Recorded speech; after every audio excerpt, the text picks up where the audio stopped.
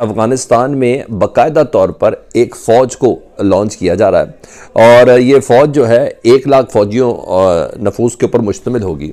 लेकिन ऐसा नहीं था और साथ साथ मैंने इस खबर का आपके साथ शेयर किया था कि इसका नेक्स्ट लेवल ये है कि इस एक लाख की फ़ौज में एक बटालियन शामिल की गई है, जो कि सुसाइड बॉम्बर्स होगी। जी हाँ खुदकुश।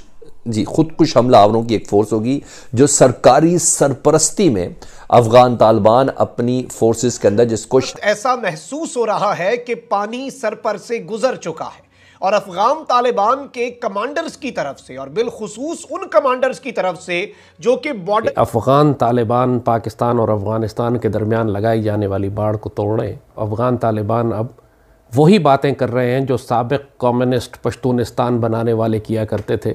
कि हम अटक तक पाकिस्तान का इलाका कब्जा कर लेंगे। वो हमें तंग नहीं करेंगे। ये एक सवाल है। देखें उनके पास कुछ भी नहीं है। ना खाने को, ना पीने को। ओआईसी की कॉन्फ्रेंस हमने उनके लिए कराई। करोड़ों रुपए पाकिस्तान के लगे ओआईसी की कॉन्फ्रेंस कराते हुए। एक गरीब मुल्क है हमारा पाकिस्तान। हम कोई अमीर मुल्क तो नहीं है। मैं देख रहा था, वो कह रहे थे, हम एक लाख फौज तैयार कर रहे हैं। वो एक लाख फौज उसमें खुआने कितना रोटी की तो खुआनी है। ठीक है जी? लेकिन वो कहते हैं उनको बस उन्होंने थोड़ा सा स्किप करके आप सीधे वीडियो के मेन भाग पर पहुँच सकते हैं। वीडियो के बारे में आपको बता दूँ कि अफ़गानिस्तान ने ऑफिशियल तौर पर एक सुसाइड बम्बर की फ़ौज तैयार करने की बात बोली हालाँकि वो एक लाख की सेना बना रहे जिसमें एक मतलब बटालियन रहेगी सुसाइड बम्बर की। आप सोच सकते हो या सुनने में ही अपने आप में अनोखी चीज़ लगती है। सुसाइड बम्बर मतलब ऐसी फौज जिसमें कोई भी बंदा अपने आप को बम बांधकर, दुश्मन के पास जाकर उड़ जाएगा। इस तरीके से मतलब वो एक बटालियन तैयार कर रहे हैं, जो कि काफ़ी मतलब शॉकिंग और बहुत एक बड़ी न्यूज़ है। पाकिस्तान में इस खबर को लेकर तहलका मच चुका है। चलिए दोस्तों, पहले पूरा वीडियो देखते हैं, फिर वीडियो के अंतिम भाग में करते हैं और इस वक्त ऐसा महसूस हो रहा है कि पानी सर पर से गुजर चुका है। और अफगान तालिबान के कमांडर्स की तरफ़ से और बिलखसूस उन कमांडर्स की तरफ़ से जो कि बॉर्डर्स के तमाम तर मामला को देखते हैं, जो कि बॉर्डर्स के ऊपर तमाम तर जो कार्रवाइयाँ हैं, उन्हें हेड करते हैं उनकी तरफ़ से ना सिर्फ़ पाकिस्तान के हवाले से जो बाढ़ का मसला है, उस पर एक इंतहाई एक्सट्रीम मौकफ अपनाया जा रहा है, बल्कि अब तो बात उससे भी आगे बढ़ चुकी है। और पाकिस्तान को धमकियाँ दी जा रही हैं कि हम आप पर मॉर्टर गोले भी बरसाएँगे, हम आपके साथ लड़ेंगे भी, और हम आपके साथ टिट फॉर टैट का अब हिसाब रखेंगे। और इस सब के अंदर अब असल कहानी क्या है? इस वक्त क्या गुड कॉप बैड कॉप खेला जा रहा है? या फिर हकीकत में मुल्ला याकूब? मुल्ला उमर के जो साहबजादे हैं, जो कि इस वक्त अफ़गानिस्तान के मिनिस्टर ऑफ़ डिफेंस हैं, और जब इनकी जंग चल रही थी, उस वक्त ये अफ़गानिस्तान के अंदर तालिबान की आर्मी के आर्मी चीफ थे, क्या इस वक्त उनकी कोई मकामी कमांडर नहीं सुन रहा? और उन्होंने अब लेटेस्ट क्या अहकाम जारी किए हैं अफगान तालिबान को, जो कि पाकिस्तान के बॉर्डर रीजन में हैं, और टीटीपी को? जी हाँ टीटीपी और अफगान तालिबान दोनों को कुछ अहकाम जारी किए गए हैं। उस हवाले से भी डिटेल्स मैं आपके सामने रख देता हूँ। इस वक्त माहौल यह बन चुका है कि तालिबान का यह कमांडर है, जो कि इनकी बॉर्डर बटालियन जो कि बॉर्डर की इनकी बटालियन है बॉर्डर की फोर्स है, या फिर आप ये कह सकते हैं कि जो अफ़गानिस्तान की सरहदों की मुहाफिज फौज है उसके कमांडर मौलवी सनाउल्ला संगीन इसका नाम है। और इसने जो स्टेटमेंट दी, जो कि मैंने शुरू में चलवाई भी चंद सेकंड्स की, ये इसने तलो न्यूज़ से बात की है नाजीन कराम और इस सब के अंदर इसने कुछ इंतहाई संगीन और अपने नाम की तरह इंतहाई संगीन भी और इंतहाई अजीबो गरीब बातें की हैं। अब पाकिस्तान की फौज के सिपा सालार जनरल कमर जावेद बाजवा का यह विजन था कि यहाँ पर एक अमन की बाढ़ लगाई जाए।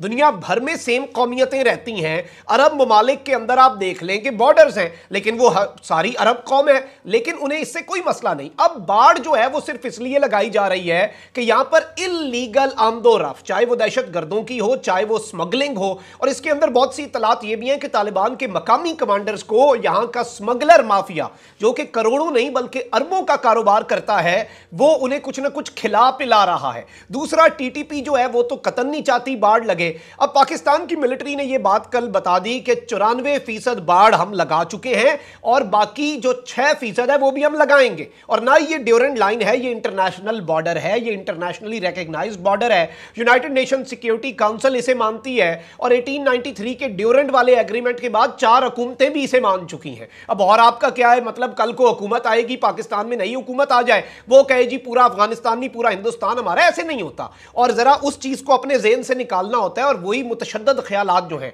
अब मसला यह है कि जो इनके मकामी कमांडर हैं, उन्हें ना तो कोई डिप्लोमेसी का पता है, ना ही उन्हें सिफारती महाज का पता है। वो तुर्कमेनिस्तान के साथ एक बंदे की हलाकत की बात डिस्कस करने गए, वहाँ पर जी बॉर्डर पे टैंक तक चल गए जी। क्योंकि मुजाकरात करने आते ही नहीं है, जंग लड़नी आती है। मुजाकरात वालों को मुजाकरात नहीं करने देते।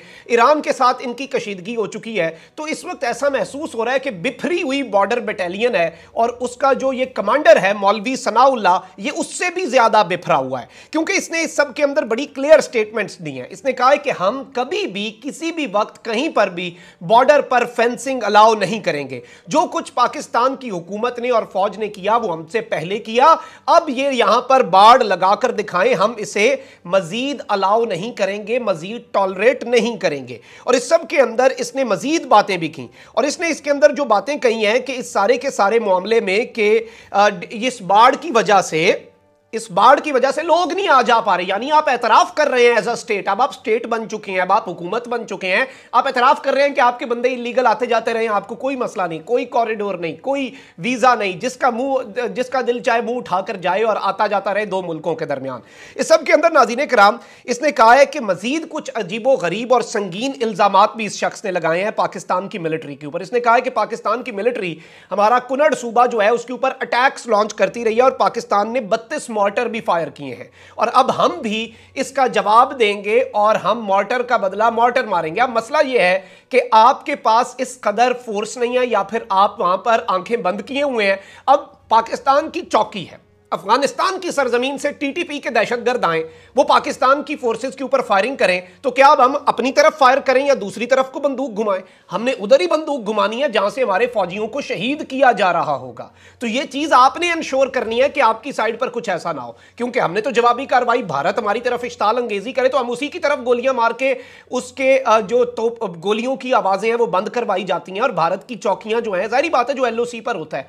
तो इस सब के अंदर इनका यह कहना यह बिल्कुल बेतुक है। इसके साथ साथ इन्होंने कहा कि अब हम 30 नई चेक पोस्टें बनाएँगे 30 से 40 नई चेक पोस्टें बनाकर हम उन चेक पोस्टों के ऊपर अपने तमाम तर काम मुकम्मल करेंगे और वहाँ पर हम इंश्योर करेंगे कि बॉर्डर के ऊपर हमारा लैंड इधर उधर एक इंच भी इधर उधर ना जाए और कोई चीज़ हमारे कंट्रोल से बाहर ना हो। अब ये चीज़ जो है, इस सब के अंदर नाजीन कराम देख लें कि इनकी फॉरन मिनिस्ट्री अफ़गानिस्तान की जो काबुल में बैठी है, वो कहती है, हमने डिप्लोमेटिकली हल करना है। अगले दिन मौलवी सनाउल्ला संगीन जैसा कोई शख्स उठता है, वो इस तरह की स्टेटमेंट दे देता है। मुल्ला याकूब काबुल में बैठे हुए कहते हैं कि अब किसी ने पाकिस्तान के बारे में साथ खुद कुछ नहीं करना, हम ऑर्डर्स देंगे तो कुछ कीजिएगा। खुद से नहीं कि भाई दिल किया तो गोले मार दिए, दिल किया तो बाढ़ उखाड़ दी।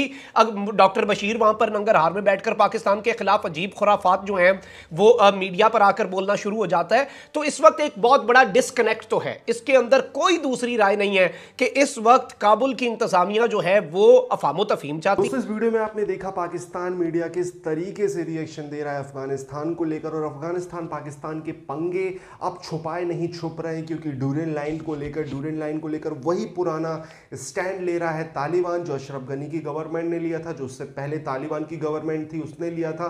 और कोई भी गवर्नमेंट हो अफ़गानिस्तान में ड्यूरेंट लाइन पर वही स्टैंड है उनका। आपको पता होगा ड्यूरेंट लाइन अफ़गानिस्तान और हिंदुस्तान मतलब ब्रिटिश इंडिया के बीच खींची गई एक लाइन थी और एक समझौता था, लेकिन अंग्रेज़ चले गए, जिसके बाद अफ़गानिस्तान के लोग बोल रहे हैं कि अंग्रेज़ चले गए तो भाई ये लाइन भी खत्म होनी चाहिए और हमें हमारा पुराना इलाका वापस करो, जो कि केपीके का इलाका है, जिसमें पेशावर भी इंक्लूड है। और वो खुल्लम खुल्ला बोलते हैं कि अटक से तुम्हारा इलाका चालू होता है। अटक, जो पाकिस्तान का पंजाब की सीमा का एक इलाका है, जो डिवाइड करता है केपीके और पंजाब को, पाकिस्तान वाले पंजाब की बात कर रहा हूँ, उसको बोलते हैं अटक से तुम्हारा इलाका स्टार्ट होता है। उसके यहाँ का हिस्सा जो है, वो हमारा हिस्सा है। तो आप समझ सकते हो ये कितनी सीरियस प्रॉब्लम है। और इसमें बेसिकली पस्तून आबादी तो डेफिनेटली बिलीव करती है। बाकी अफ़गानिस्तान की जो दूसरी कौमें हैं, ताजिक हो या हजारा हो, उनको इस मामले से कोई लेना देना नहीं और तालिबान के मेन बॉस पस्तून ही है। तो आप समझ सकते हो दोस्तों, और तालिबान के जो लोग हैं, वो ड्यूरेंट लाइन जो बनाई गई है, उसको उखाड़ रहे हैं, और जहाँ पर अभी लाइन की फेंसिंग मतलब सॉरी, जो फेंसिंग बनाई गई है, उसको उखाड़ रहे हैं, और जो अभी फेंसिंग का काम लगा है, वहाँ पर चौकियाँ बना दी गई हैं, और सीधे सख्त आदेश दे दिए गए हैं तालिबान के सैनिकों को, अगर इस तरीके की लाइन बने तो वहाँ पर आप हमले अटैक करें। तो आप समझ सकते हो सिचुएशन कितनी मज़ेदार है, और पाकिस्तान के साथ आने वाले में क्या सीन होंगे। तो दोस्तों, ये वीडियो खत्म होता है। अगर आपको ये वीडियो अच्छा लगे तो प्लीज़ चैनल को सब्सक्राइब करें, वीडियो को लाइक करें, शेयर करें।